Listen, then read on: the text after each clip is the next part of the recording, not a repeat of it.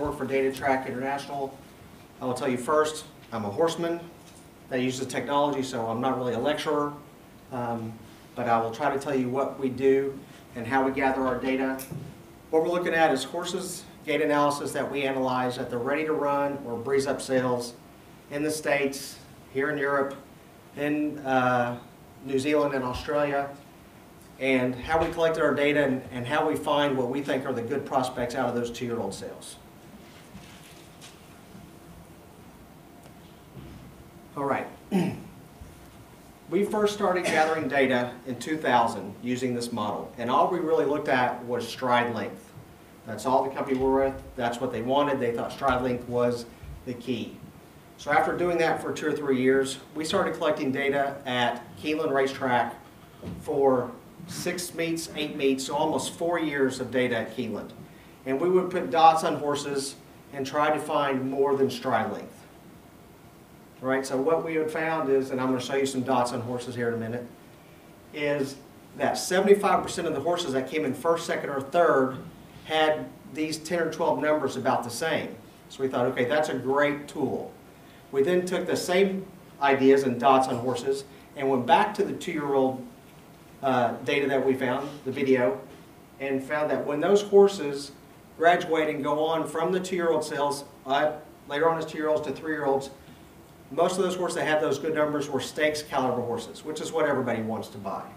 All right? Once we did that, we were able to take those the following years and start analyzing that. So we moved away from stride length and got started getting a lot more numbers.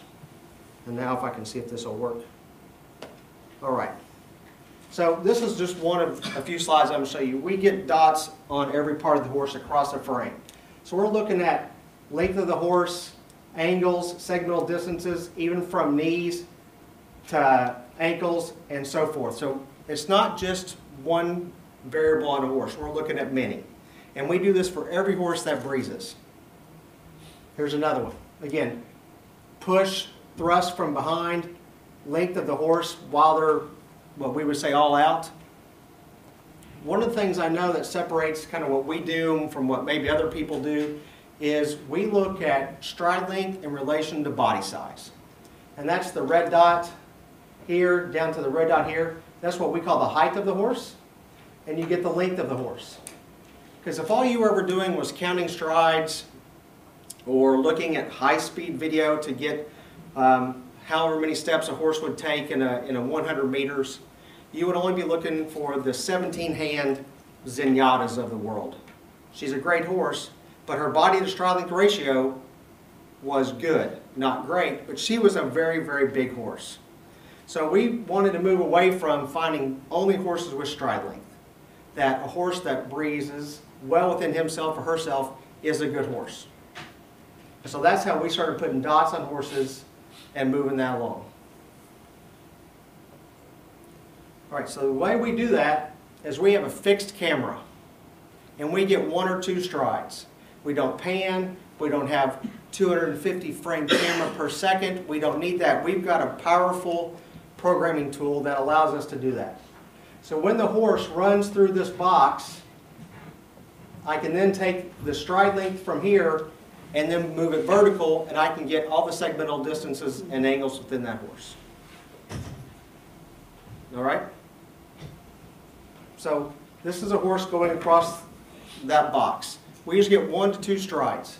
So with all the angles and segmental distances in a horse, we're going to get about 40 to 42 numbers per stride. We're going to get two strides. We're going to see if they're repeatable. Again, height, length, ground time, air time, distance between back feet, distance between the two front feet. We also look at what we call stride miles per hour, which we can get right here, versus work miles per hour. In the States, and now they just had two horses work in New Zealand the last two days, under 10 flat. So 10 flat is 45 miles per hour. So if you have a horse that goes in front of our camera at 45, 45 miles per hour, that's a one-to-one -one ratio. That's very, very good for us. But the 10 flat doesn't really matter. If a horse goes 11 flat and goes in front of our camera at 41.5 miles per hour, that's also a one-to-one -one ratio. Again, that's very good. So a lot of people, and Jeff knows this, and other people have gone to the sales, is speed sells. And so a horse that works 10 flat, everyone's going to look at. But for our purposes and our gathering, we really don't need that. We just need a good universal mover across the screen. So this is one, you'll see another screen here in a minute of how many dots we're actually looking at. So, but this is one of the things. Feet distance, ground time, air time.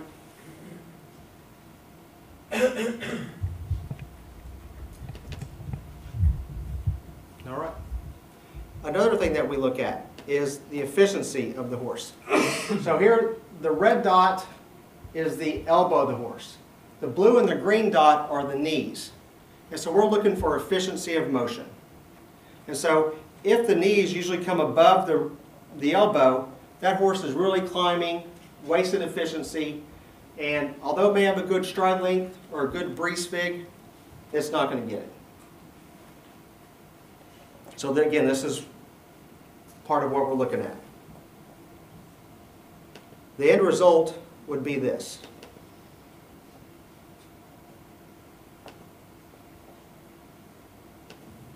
Okay?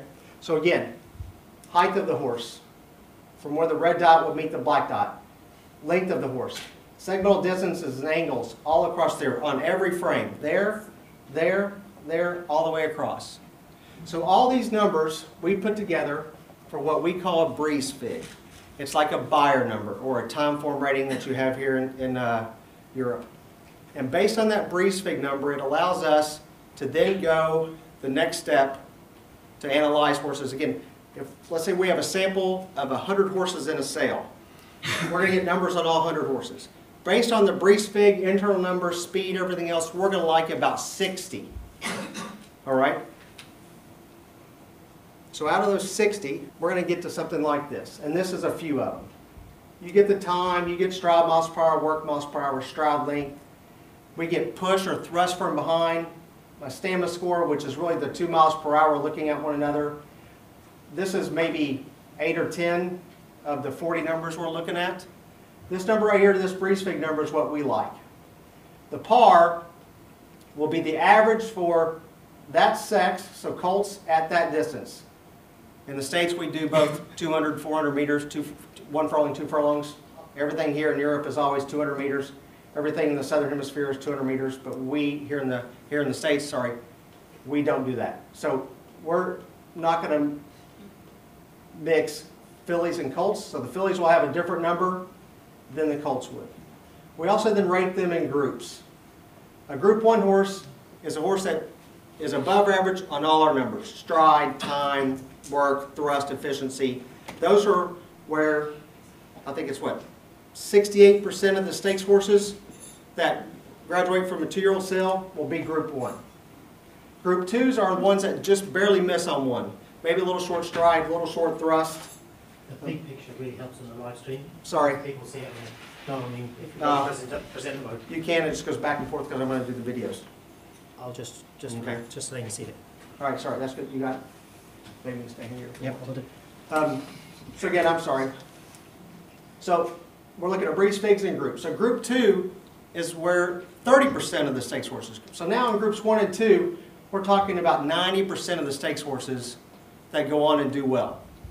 So again, we can narrow those down just on numbers. And we've gathered a lot of data doing that. Group three, there's a few stakes horses, not a lot. Group four, there's maybe 0.4%. And I'll show you the one we missed because everybody misses one, if not two. Back to the next slide. Yes. Oh. Okay. So this would be a breeze fig sheet that we sell in the States. So again, you got your time, you have your stride length, average stride length, your breeze fig. The par is again, for that sex on that distance, group ones, ones with stars. This is obviously our consigners in the States. And so we're looking at these numbers all the way across the board. So we sell this data, but this also allows us as bloodstock agents to go find good horses. And so again, out of 100 horses, we like 60. The next thing we do after this is we then do slow motion analysis. Horse tech is great, numbers are great, but you gotta have some horse sense. So you wanna make sure they move well. And that's what we're gonna look at next. After we get the numbers on all horses, we then, what we would say, use horse sense. you're a horseman, you want to go look at the horses. But before you're going to go look at all 60, we're going to narrow that list down again slow motion. All right, here's a horse that had a very, very good long stride, moved well, not a lot of high knee action, worked quick. But there's something about this horse that maybe if you all want to see if, if anyone wants to jump up and suggest what they see, not you, Jeff. Um, okay, there's the start of this breeze. So that's, that's the furlong marker. This horse is what we call disunited cross cantering cross firing. So lands right, left behind, and left, right in front. Everybody see that?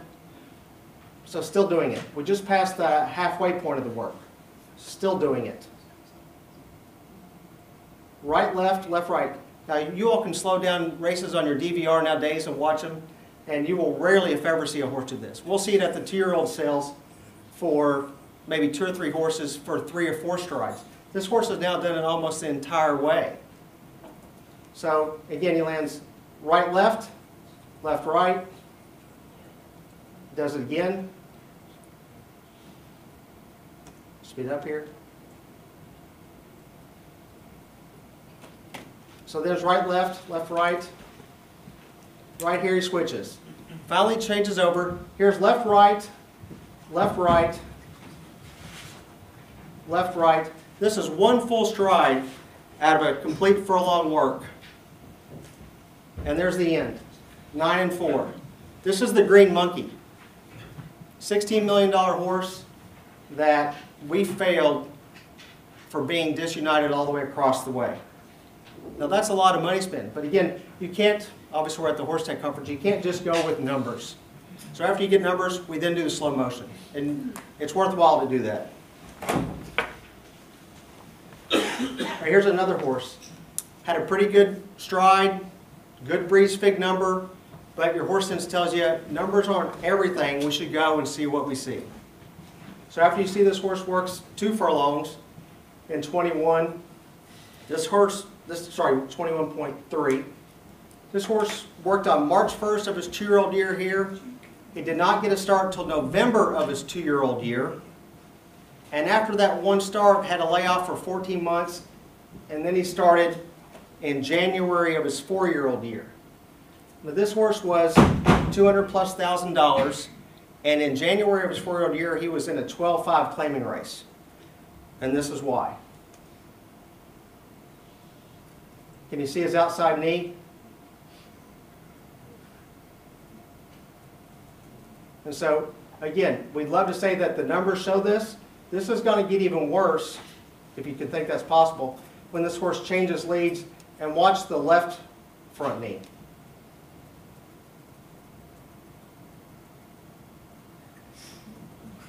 Right, Do you see the torque that happens here? And unless you're slowing this down, this is very tough to see. And even if you just gathered numbers, that would be tough to see. So this is the next step. So that's, that's one of the things that we're really keen on. So again, 100 horses down to 60 on numbers, 60 down to 40. Then we go look at a horse and we do our biomechanical analysis um, that Bob will talk about, and we also do some cardio scans. But for the gait, this is what we're looking at. I'll jump up and show you what I think is a good moving horse. This would be a horse that I think is a quality mover. Not a lot of torque or anything come around the turn, low mover, not a lot of wasted knee action or paddle, doesn't come very off the ground. Made a good lead change at the start of the turn. We'll move forward a little bit and I'll show you that again.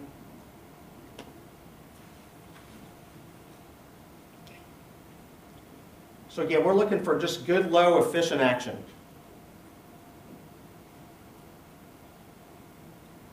So, and that, this is, would be an efficient mover. Good change of leads, so all that's good. So that's one of the things, after we get our breeze figs and get our numbers, that's what we do. One of the things that we have found is that using that box to have horses run through is we are very accurate. We've gone out and laid out cones to be 10 feet, 20 feet, up against the rail, further outside of the rail, it doesn't matter to us. And a lot of people nowadays are trying to count strides, count frame rate to get that. And I think that's, that's very tough to do. One of the samples I'm going to use is this. All right, here's a horse that breezed in Arqana this year. And so if you're counting strides and you're looking to start when the horse gets to the 200 meter mark, that's right about there. Okay? Well, was that a step ago, a half a step ago, right there? So again, doing, using the data and gathering the data the way we do it, we feel like we're extremely accurate on stride length, but also again, the height and, and distance of, height and uh, length of the horse. Because if you're gonna do it that way, then this one's gonna be even worse to do. How do you do it when you've got a horse that's this far off the rail? Again, if you're counting strides or only looking at five frames or to measure the rails to do this, your, your data at best is gonna be in- inaccurate. So that's why, again, we run through the box, we feel like we're extremely good, that's the numbers. The numbers that we've gathered are backed by the daily racing form as a handicapping tool. Um, No other company can say that, that they've got a product that can do that, that have been backed by that.